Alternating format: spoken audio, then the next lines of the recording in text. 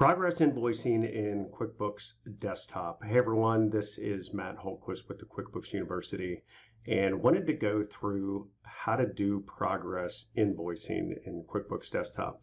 Now, you know, a lot of people think, okay, well, I only do this if I'm in construction, remodeling, that kind of thing. But, you know, I use it in my business at certain points with uh, as a service business. So there could be a large job. It could just be anything it, you know, if it's a large job, a large balance, and you need to invoice throughout the project or the work that you're doing, then you want to utilize progress invoicing in QuickBooks Desktop. So I'm going to show you how to do that in this video. So first things first. All right, what we want to do, you need to go to your preferences, which is under edit, go to preferences. All right. Now you'll see here you got all these options. We want to go to jobs and estimates and go to the company preferences. And you'll see here there's an option. It probably will default to no if you have never used it. And so you want to change this to yes. So that's the first step. All right. Now also, and just so you know, as part of the progress invoicing process, you want to, you have to create estimates. And so you want to go ahead and check this yes. All right, so we click OK. Now, the important thing to remember is that a progress invoice is generally not done through the normal invoicing process in QuickBooks. So normally you just go you know, to customers and create invoices. You go right here and you get this invoice up on the screen. Now, this was an old one I was playing around with. Now, you can change the template to a progress invoice. So this was one set up and you can set up your own progress invoice and you'll see it brings it all up. But in general, if you're just invoicing a customer for an amount, you're not going to start with a progress invoice. The typical process is you have provided an estimate to the customer. And so you really want to kind of follow that process. It makes it so much easier. And I'll show you here in just a second.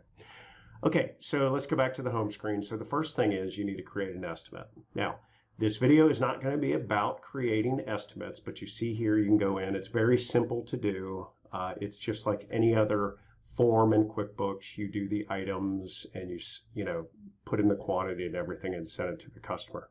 Now, whenever you need to go look at your estimates, you go to the chart of accounts. I have my uh, open windows over here, which is company and you go down to chart of accounts. And when you scroll down to the bottom, you'll see estimates right here. So you can double click this and you can see all the estimates you have out there. So let me pull up this one. We'll say this is Ernesto 1213 2023. So you'll see, okay, this is an estimate and it had a change order. So this is the estimate of this. Okay, so pretty big estimate. All right, so when you want to create an estimate, you can do uh, well, the, the easiest way, let me do it this way, is you just go up here to create invoice. So when you have an estimate and you have it in the system, just go up here and click create invoice. It says you're about to create an invoice from an inactive estimate. Well, I guess I chose the wrong one. Uh, we'll say yes. Okay. All right, so it says specify what to include in the invoice, and this is creating a progress invoice based on the estimate. So you say create an invoice for the remaining amount of the estimate, create an invoice for a percentage. So depending on how you bill, you could say, hey, 25% is due uh, now, you know, another 25% halfway through, and so on.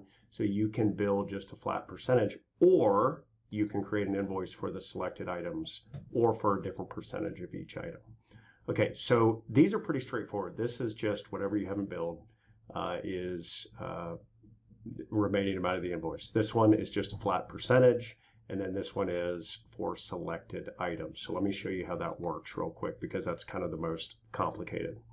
All right, so when we bring this screen here, you're going to see show quantity rate, show percentage, and when you read through these columns, you'll see this is everything that was on that this estimate behind us here.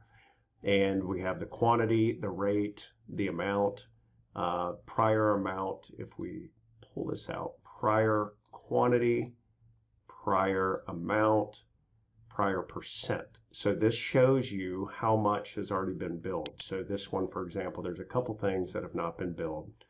And then you'll see the rate and the amount and the current percent. Okay. So if I say here, let me just type in here, what you can do is say quantity. You want to do this based on the quantity. Exceeds the amount of the estimate. That's okay for this example. And let's see, those have been billed 100%. So if we go down here for 50%, we will say there is no, let's see, quantity, prior quantity. So we're going to say 0.5 to get that to the full amount and 632.50. Okay, so you'll see that it's showing the current percent and then the total percent. They make these screens really small. So you can see everything 100%. I've got this one over because I put in uh, more than the estimate. But you can see the percent that has already been billed. Okay. So this one also has not been billed. So we're going to go ahead and put in one and you'll see that changes that to 100%. Okay, so as you do this, you can choose, you can pick and choose. Now, this is generally a little bit more complicated.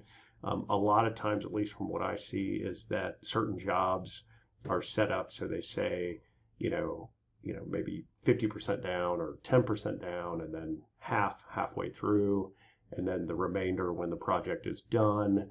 And that's a much simpler way to do it. So it's just a blanket one. Now, of course, depending on your business, you may do it this way. So if I do it this way and I click OK, you're going to see that it creates an invoice based on everything that I just said. Okay, so we have the one, it's got zeros on all the others because there was nothing there. Uh, one and so on at 0.5 and so the total invoice 1657.12 that's as simple i mean as, as easy as it gets right there to create progress invoicing in QuickBooks Desktop. Uh, it is not complicated. Any questions, any comments, feel free to leave those below. Happy to answer those for you. Also, head over to the QuickBooks University, take the master class. You will not regret it. The link for that is in the first comment that I have pinned to this video. Look forward to talking to you soon.